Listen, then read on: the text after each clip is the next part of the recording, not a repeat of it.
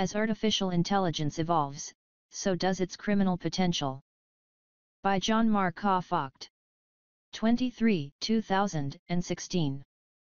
Imagine receiving a phone call from your aging mother seeking your help because she has forgotten her banking password. Except it's not your mother. The voice on the other end of the phone call just sounds deceptively like her. It is actually a computer synthesized voice, a tour de force of artificial intelligence technology that has been crafted to make it possible for someone to masquerade via the telephone. Such a situation is still science fiction but just barely. It is also the future of crime. The software components necessary to make such masking technology widely accessible are advancing rapidly. Recently, for example, DeepMind, the Alphabet subsidiary known for a program that has bested some of the top human players in the board game Go, announced that it had designed a program that mimics any human voice and which sounds more natural than the best existing text-to-speech systems, reducing the gap with human performance by over 50%. The irony, of course, is that this year the computer security industry, with $75 billion in annual revenue, has started to talk about how machine learning and pattern recognition techniques will improve the woeful state of computer security. But there is a downside. The thing people don't get is that cybercrime is becoming automated and it is scaling exponentially, said Marc Goodman, a law enforcement agency advisor and the author of Future Crimes. He added, This is not about Matthew Broderick hacking from his basement, a reference to the 1983 movie War Games. The alarm about malevolent use of advanced artificial intelligence technologies was sounded earlier this year by James R. Clapper, the Director of National Intelligence. In his annual review of security, Mr. Clapper underscored the point that while AI systems would make some things easier, they would also expand the vulnerabilities of the online world.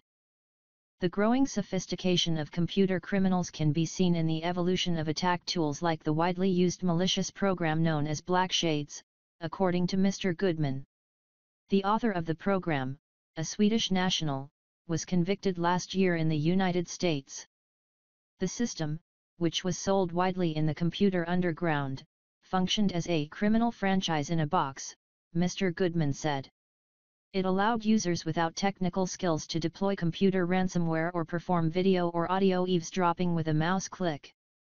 The next generation of these tools will add machine learning capabilities that have been pioneered by artificial intelligence researchers to improve the quality of machine vision, speech understanding, speech synthesis, and natural language understanding. Some computer security researchers believe that digital criminals have been experimenting with the use of AI technologies for more than half a decade that can be seen in efforts to subvert the Internet's omnipresent CAPTCHA completely automated public Turing test to tell computers and humans apart the challenge and response puzzle invented in 2003 by Carnegie Mellon University researchers to block automated programs from stealing online accounts. Both white hat artificial intelligence researchers and black hat criminals have been deploying machine vision software to subvert CAPTCHAs for more than half a decade, said Stefan Savage, a computer security researcher at the University of California, San Diego. If you don't change your CAPTCHA for two years, you will be owned by some machine vision algorithm, he said. Surprisingly, one thing that has slowed the development of malicious AI has been the ready availability of either low-cost or free human labor. For example, some cybercriminals have farmed out CAPTCHA breaking schemes to electronic sweatshops where humans are used to decode the puzzles for a tiny fee. Even more inventive computer crooks have used online pornography as a reward for human web surfers who break the CAPTCHA, Mr. Goodman said. Free labor is a commodity that AI software won't be able to compete with anytime soon. So what's next? Criminals, for starters, can piggyback on new tech developments. Voice recognition technology like Apple's Siri and Microsoft's Cortana are now used extensively to interact with computers. And Amazon's Echo voice-controlled speaker and Facebook's Messenger chatbot platform are rapidly becoming conduits for online commerce and customer support.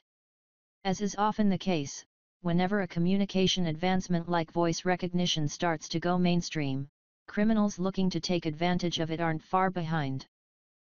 I would argue that companies that offer customer support via chatbots are unwittingly making themselves liable to social engineering, said Brian Krebs, an investigative reporter who publishes at KrebsOnSecurity.com.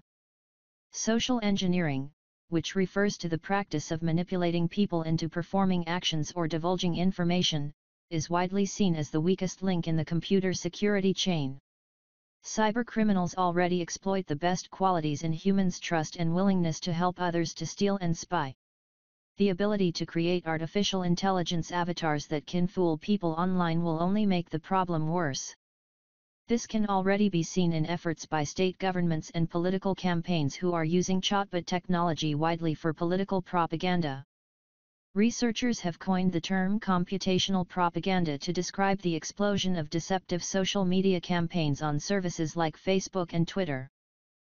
In a recent research paper, Philip N. Howard, a sociologist at the Oxford Internet Institute, and Bence Kollanyi, a researcher at Corvinus University of Budapest, described how political chatbots had a small but strategic role in shaping the online conversation during the run-up to the Brexit referendum.